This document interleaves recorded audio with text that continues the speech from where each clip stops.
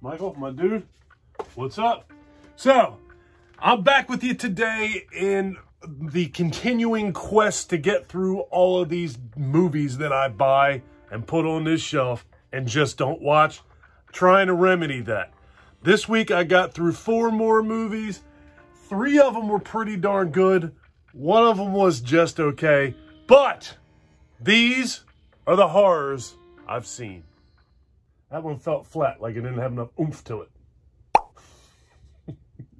Thanks, Michael.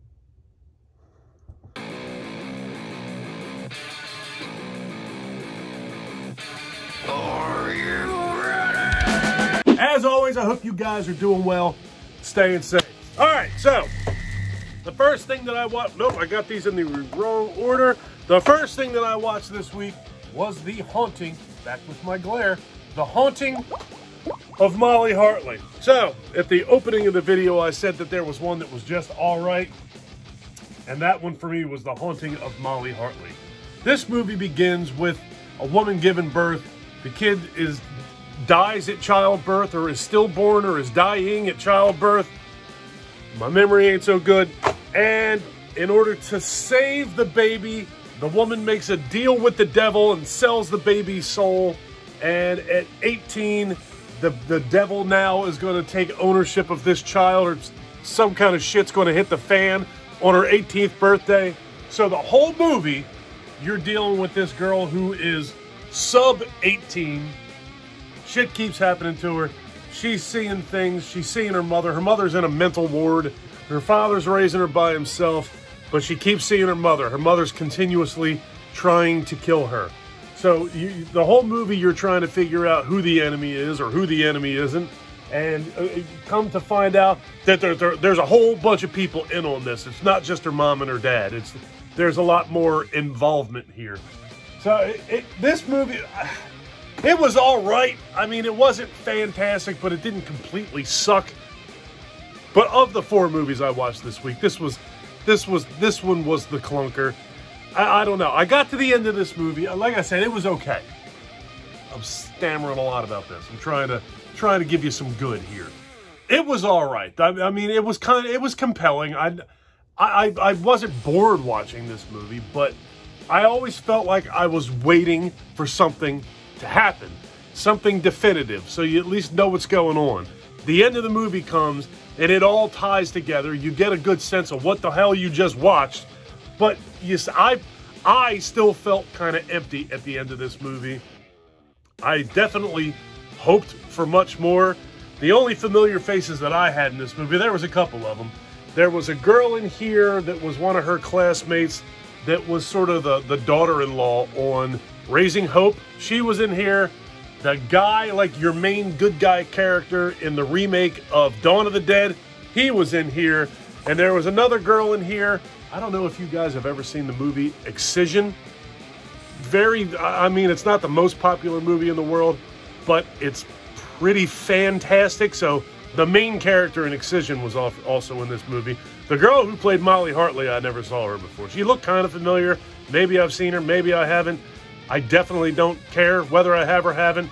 This movie was just all right for me. I definitely would not say don't watch it. I mean, how many girls dying at birth and then the devil comes to steal your soul at your 18th birthday movies do you get a chance to watch? So, if you're into that sort of thing, watch The Haunting of uh, Molly Hartley. It was just okay for me. The second movie I watched this week was definitely the biggest surprise of the week for me. I picked up this movie and got ready to watch it, and before I even put it in my DVD player, I had the idea in my head that this movie was not going to be good. I was very, very wrong. The movie is, Mr. Glare, The Final Girls. The only familiar face in this movie for me is Vera Farmiga's daughter is the main character in this. Is it Taissa? T-A-I-S-S-A Farmiga? Vera Farmiga, you know her from, she's in the, the Conjuring universe, and she was uh, the in the Bates Motel. Everybody that's a horror fan knows who Vera Farmiga is, and her daughter is the main character of this movie. That is a film about the, the Vera Farmiga's daughter, Tessa Farmiga's mom, was in an 80s horror film. I think it was called Camp Bloodbath. Maybe it was. I think it was. Maybe it wasn't. Watch the movie and you'll know for sure. Or look it up on that thing called the internet. She was in this old 80s slasher movie. The movie kind of stuck with her. She kind of regretted ever doing this movie, so on and so forth. Something happens and she passes away. The mom passes away. The daughter does not. They're in a car accident. I don't know why I'm acting like that's a secret. They're in a car accident. Mom dies, daughter doesn't die. Jumps ahead three years later, and the local movie theater is playing a screening of Camp Bloodbath. The daughter goes to this movie with her friends. After an odd series of events, which I'm not going to get into, the movie theater catches on fire. They find out that there's an exit behind the movie screen. They jump up, get they bust through the well, they cut through the movie screen to go towards that exit. And what they've actually done is they have now managed to enter the film itself. So now they're stuck in the 90 minute film of Camp Bloodbath. They're in the movie. So she's in the movie with her mom, and she's either older than or as old as her mom in the movie. It's weird, but very, very good. Absolutely the biggest surprise for me of the week. Like I said, just looking at this, if that doesn't not, if that, this is a perfect example, I guess, of don't judge a book by its cover, or in this case, a, a movie by its cover, especially one you bought at Dollar Tree. If that does not look like a movie that's really fucking stupid, then I have no idea what that actually looks like. But it was not. It was. I'm actually looking forward to watching that again. I watched it by myself uh, last week, and I'm going to watch that again with my wife. I think my wife will really enjoy that movie. It's got like all of the 80s slasher tropes in it. It's got like the goofy guy and the druggy stuff and the it's really really good as far as that slasher encompassing the slasher genre goes. And it's also really good at making fun of it. And the underlying story of that girl and her mother, or the mother, daughter, however you want to put that, is very, very good. It jerks at your heartstrings. It's you want to know how they're going to get out of this. It's I, I can't say enough good things about the final girls. I know that I very recently saw this DVD in Dollar Tree. I bought this probably a year ago or more. I know very recently I saw it. So that there are definitely copies of that still floating around in Dollar Tree. So if you're compelled to spend one dollar, Tree's increased to a a dollar twenty-five now, so it's like a buck twenty-five tree. If you want to spend a dollar twenty-five to find a really fantastic movie, get the Final Girls. You won't regret it. That movie was friggin' badass. Awesome. The next thing that I watched was not a first time watch for me, was Lake Eden, or the the title 1490s, was it 96? 1499. That's the name of this film. Christ. Eden Lake.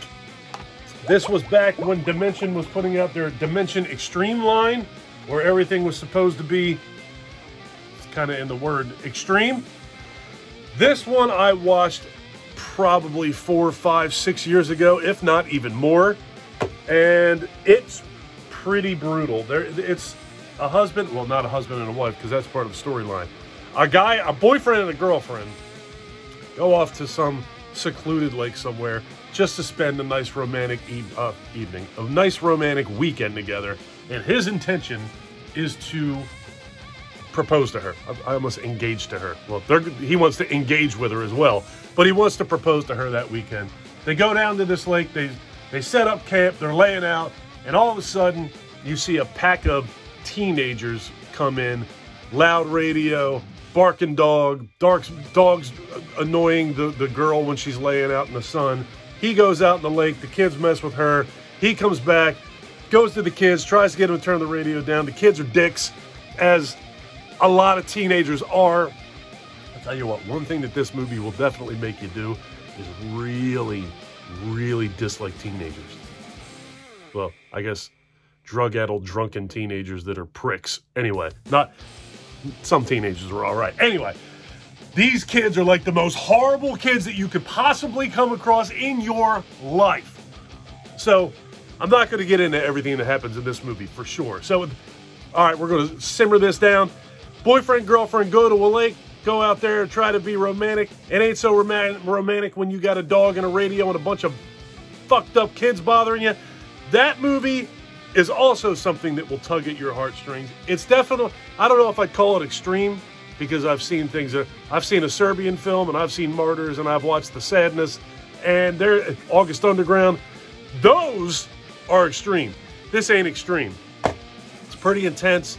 It's pretty hard to watch at certain points. Extreme is a bit much.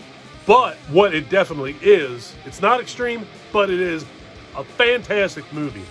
Very well made, very convincing. You feel for these two people in this movie so much. That's disgusting. But the movie was not disgusting. Well, the teenagers were disgusting.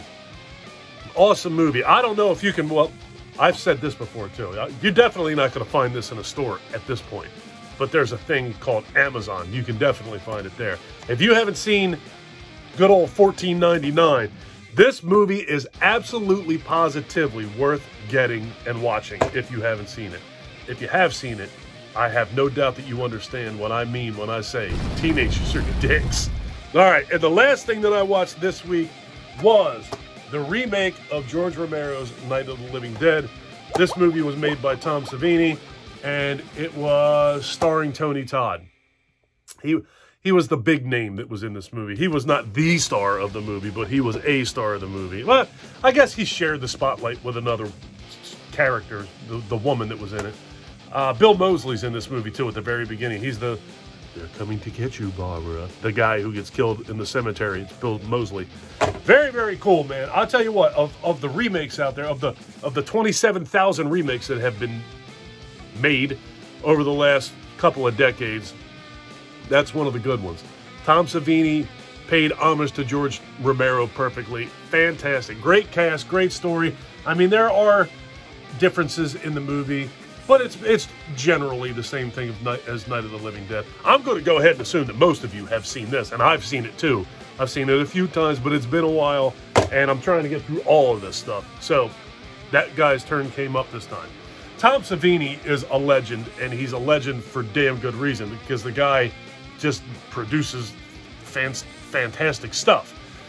He, I believe he directed this. I'm not positive, but I'm pretty damn positive he directed this.